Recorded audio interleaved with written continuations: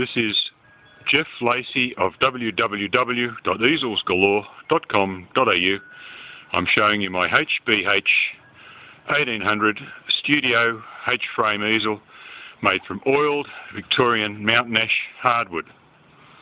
This is a very sturdy, strong, basic H-frame easel that holds good sized canvases. The canvas you can see is a metre by a metre.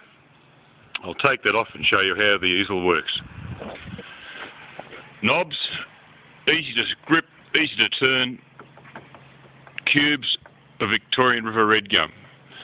I'll just put the canvas aside.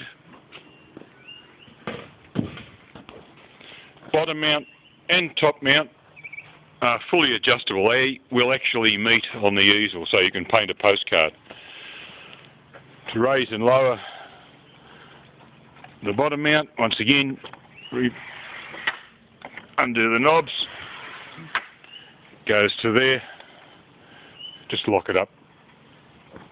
I normally lock both knobs with, with one hand on the camera, it's very hard. Tilting, easy to grip, easy to reach. Side clamps, loosen one, loosen the other, tilt the easel, put it back where you want it. Tighten the clamps.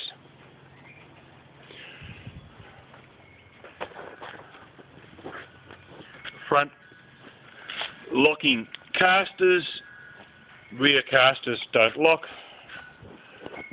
The easel 2.1 metres tall. All joints are glued, all joints are screwed. It'll never wobble or work loose during the life of the easel. So that's my HBH 1800 Studio H-frame easel. This is Jeff Lacey of www.easelsgalore.com.au.